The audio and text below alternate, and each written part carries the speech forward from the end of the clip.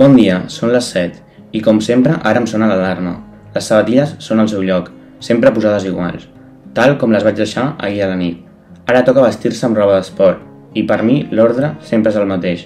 Ens veiem després d'esmorzar. 1, 2, 3. Disculpeu, aquest és el meu cap de forma inconscient comptant els segons que a l'hora de rentar-me les dents toquen per zona de la boca. 18, 19, 20, 1, 2, 3. Com veieu, em rento les dents com tothom. L'únic que canvia és que, per la meva rigidesa cognitiva, necessito comptar els segons que porto. Són dos minuts per fer-ho bé. 18, 19, 20. Ara comença el que pitjor porto del dia, els moments sense estructura. Són moments entre grups o abans de començar els grups en els quals no es nota, però per regular-me faig servir moviments repetitius, també anomenats estereotípies. Depenent de la persona poden ser molt visibles o quasi imperceptibles, a no ser que ho sàpigues. La primera activitat dirigida del dia és esport. Normalment fem exercici físic amb molt de desgast energètic. Per desfogar-nos, a mi personalment m'ha ajudat molt a baixar de pes i per fi poder fer equitació. Els cavalls són un animal que m'encanta i que em tranquil·litza, jo ho noto. Les setmanes que tinc equitació estic més receptiu i tot em va millor a la unitat. Ens veiem a aula, que faig una mica de pudor, i vaig a la dutxa. A aula normalment intentem seguir el curs escolar, en la mesura del possible. En el meu cas personal no ha sigut així. Per tant, des de l'equip em van proposar formar-me en petits cursos online sobre els meus interessos personals com el disseny 3D i les matemàtiques. És a punt de migdia i toca dinar. El dinar és un moment en el qual el to de veu puja amb facilitat i per mi el soroll és molest i angoixant. Arran d'això, utilitzo com a estratègies uns auriculars de protecció auditiva. Sensorialment, a l'hora dels àpats, també tinc dificultats amb algunes textures o a l'hora de barrejar certs aliments. El meu pensament rígid fa que els coberts, com les sabatilles, sempre els posi iguals. Les persones amb autisme, com la resta del món, tenim amics. Sí que en el meu cas personal no m'és fàcil fer-los, ja que tinc alguna dificultat amb les habilitats socials i sóc més selectiu a l'hora de considerar que algú és el meu amic. En la societat existeix la idea que les persones dins l'espectre no ens relacionem gens, però no és així. Aquesta falsa creença pot venir en part derivada de les dificultats de comunicació. En el meu cas, iniciar una conversa em costa molt i no sé de quin tema parlar, però si algú altre treu un tema, sóc perfectament capaç de mantenir-la.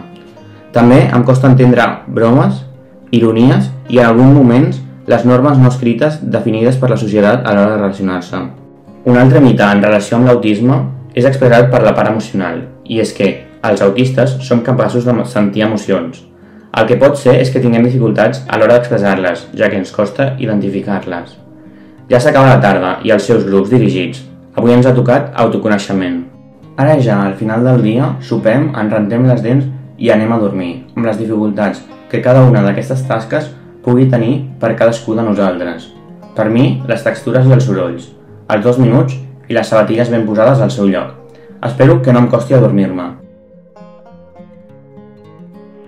Avui, dia 2 d'abril, pel Dia Mundial de la Concienciació de l'Autisme, us he fet un resum del que seria un dia per mi a la unitat de neurodesenvolupament d'ICA. Per explicar-vos que un dia per mi és igual que un dia per vosaltres. Simplement veig i processo la informació de l'entorn de manera diferent. I no tots els autistes ho fan de la mateixa manera que jo. És a dir, que l'autisme és una condició neurobiològica que es presenta diferent a cadascú. I no és que sigui ni millor ni pitjor, simplement és diferent. A vegades, com en el meu cas, pot passar desapercebut i tenir un diagnòstic complex més tard del que és habitual, generant un seguit de situacions o vivències complicades que et porten a pensar que ets estrany, no encaixes, derivant en alguns casos a problemes de salut mental, fent més difícil el nostre dia a dia. Per això, crec que si l'autisme estigués més visibilitzat, no tan estereotipat pel que es pot arribar a entendre dels continguts audiovisuals, potser seria una mica més fàcil la nostra inclusió social. Jo, personalment, com a persona dins l'espectre autista i sota la meva experiència, agrairia aquesta mirada més inclusiva per part d'alguns sanitaris, que en algun moment no han sabut com gestionar-los i fomentar la seva formació en aquest àmbit per tal d'adquirir estratègies envers els moments d'estrès i de regulació.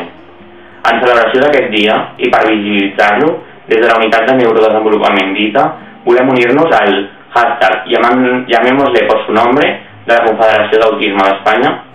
Espero que aquest vídeo on explico i remarco les meves diferències amb els neurotípics serveixi per trencar mites i ajudar a la comunitat autista a tota aquella, o a tota aquella persona que es senti identificada a parlar-ne i no sigui un tema tabú.